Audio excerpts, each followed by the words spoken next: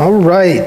Well, we are going to start a new sermon series through the Gospel of Luke. Uh, if you got that uh, PowerPoint back there, could you pull that up?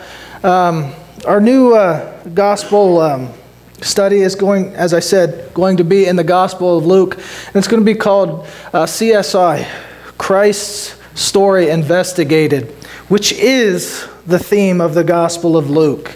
Um, most of us, when we approach uh, the Gospels, we see them as just the same story told over and over and over.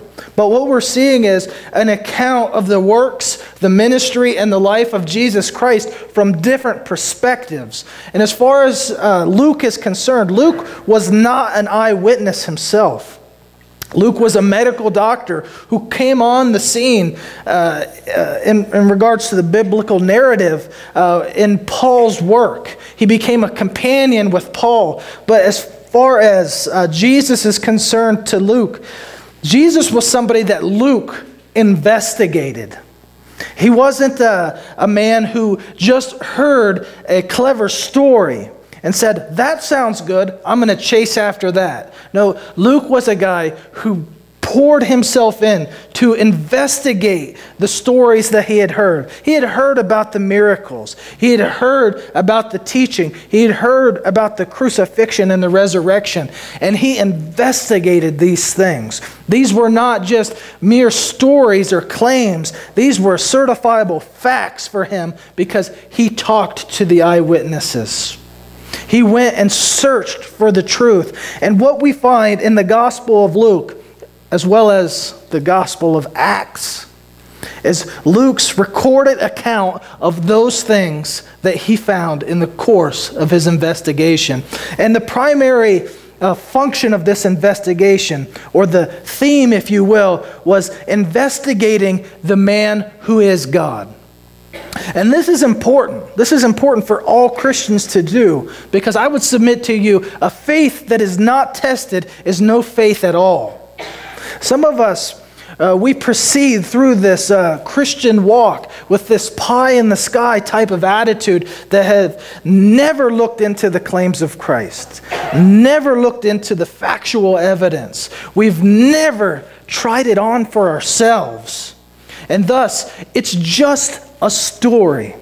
And when it's just a story, it can be set aside, just like all other stories are set aside.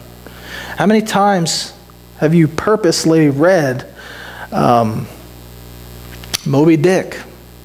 Maybe you read it once, maybe you read it in school. How many times have you purposely read through uh, Shakespeare's works? I know for me, I read some of them in school because I was required to know the story so I could pass the test. And since then, I've graduated some 15 years ago, I have never picked up those works again. The same thing happens within Christendom when the claims of Jesus Christ are just a story.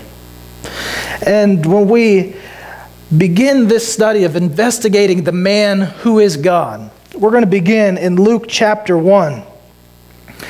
And we're going to begin this investigation in a sermon entitled, It Starts at Home. Because, like any investigation, it's not just about the events that took place, it's to investigate or uh, find out the background behind those events. Uh, we just heard recently about the uh, Sandy Hook tragedy and how these young children were murdered in cold blood in their school. But part of that police investigation took place outside of that school, investigating the man who uh, uh, acted in such a way to take a life. They investigated not only him, but his family and his close friends. And yes, they did investigate the crime scene. But they needed to find out who this guy was and who he related himself to. I think we do the same thing. Maybe not in such a severe case as far as a, a tragedy, but we do that when we pick our friends. We do that when we pick our spouse. We investigate. We find out who they associate themselves with. Why? Because we want the broader picture. And Luke begins his investigation of the Lord Jesus Christ by looking at the broader picture. He wants to see who it is that he related himself to. And I want to begin with this. Do we understand that when we begin to teach children things, children learn more but through what they catch, what is caught, than what is taught? And that, that's a cliche, uh, but that's a cliche because it's true. Children learn more by what they catch through our example than the things that we tell them. Okay, so as it applies to Christianity, if Jesus Christ is just a cleverly invented figure um, within literature, he will have no impact on my everyday life. And if that's how I live, then my children or the next generation will pick that up really quick, even if I tell them that he is fundamentally important. Now, with that in mind, I want to ask you this question What is it that you're known for? What is it that your children catch from you, besides the flu, by the way? What is it that they pick up from your belief in the Lord Jesus Christ that they know to be true because they see it in you? Because all of us pass along things. Because you guys go to that next slide? I don't know if you've seen this show. I love this show. Okay, Duck Dynasty. Duck Dynasty is a, is a show about um, uh, Phil Robertson, the guy on the left. Uh, he invented a duck call about 40 years ago and has become a multi millionaire. But he doesn't live that way. He lives in a, uh, a little house out in the woods, and his sons, the one uh, to his right and the one on the far right, they now run the company.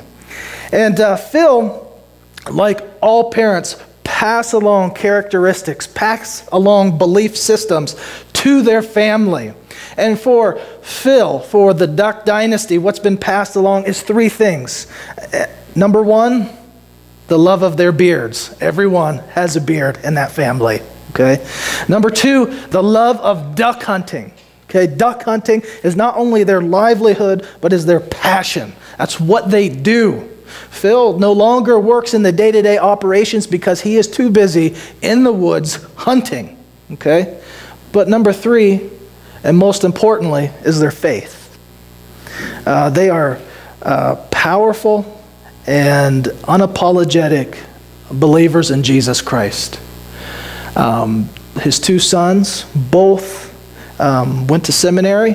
Uh, if, you, if you saw them on the street, you would probably think, not a pastor, but a homeless guy. Um, but uh, faith is a very important thing in their life and on their show. Uh, they're oftentimes uh, seen talking about the things of God. Um, the end of every show ends and the family praying together. But the Duck Dynasty isn't just about the, their business, Duck Commander. It's not just about uh, selling duck calls. It's not about duck hunting. It's about the legacy of faith that was passed on uh, from father to son. And with that in mind, I would ask you, what kind of legacy are you going to pass on? What kind of things have you begun to pass on to your children, so much so that they become a part of what they do? Is your faith part of that which that they will take up for themselves and carry on because they see it as important in and through your life. And I ask you that question because in the Gospel of Luke, we see this profound truth in Luke chapter 1 that God purposefully entrusted his one and only Son to a family of godly character. Did you ever think about that? That it wasn't a random accident that God entrusted his son, the Lord Jesus Christ, as an infant and as a child to a teenage mother, Mary, and to this faithful man, Joseph, That was no accident. And, and I would submit to you that the reason he did it because he saw three godly characteristics within these people. And I want to share these with you today. The first of which is he saw holiness in them. The second, he saw humility. And the third, he saw hopefulness. And those are the, the, the three character traits that they passed on to God's Son as they raised him. And I, those are the three I want to share with you today. So let's begin our investigation of the Lord Jesus. In chapter 1, verse 1 of the Gospel of Luke.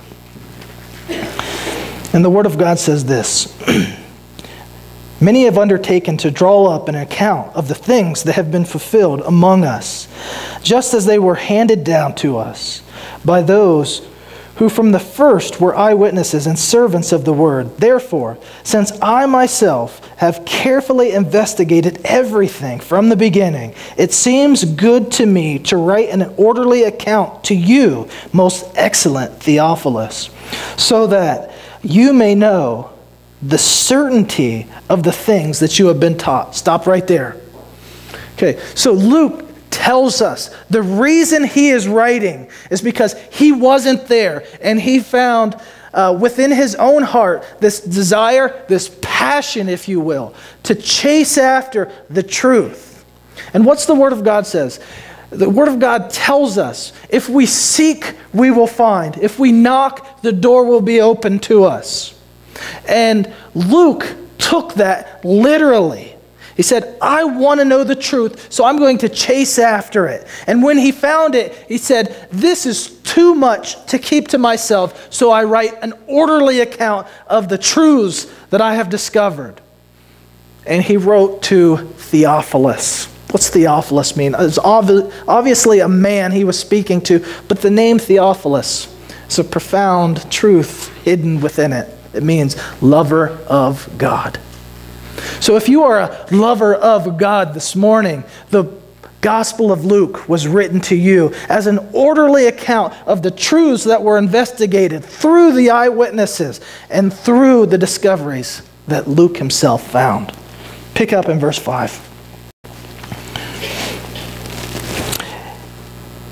In the time of Herod, king of Judea, there was a priest named Zechariah who belonged to the priestly division of Abijah. His wife, Elizabeth, was also a descendant of Aaron. Both of them were upright in the sight of God, observing the Lord's commands and regulations blamelessly. But they had no children because Elizabeth was barren. And they were both well along in years. Once, when Zechariah's division was on duty, he was serving as priest before God, and he was chosen by law according to the custom of the priesthood to go into the temple of the Lord and burn incense. And when the time of the burning of incense came, all the assembled worshippers were praying outside.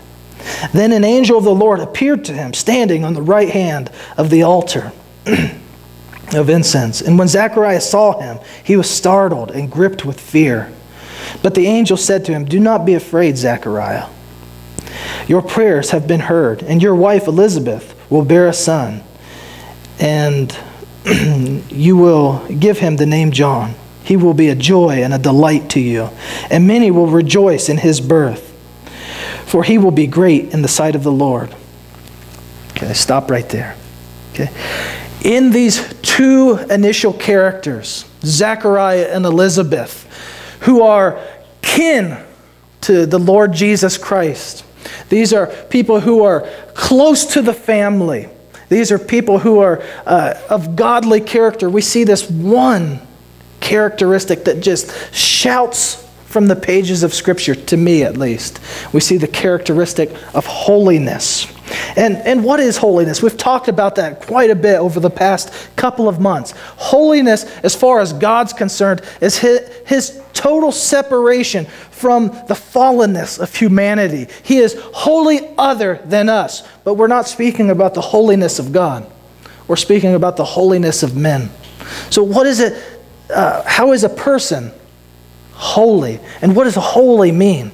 Holy simply means to be set apart for God's work, set apart for God.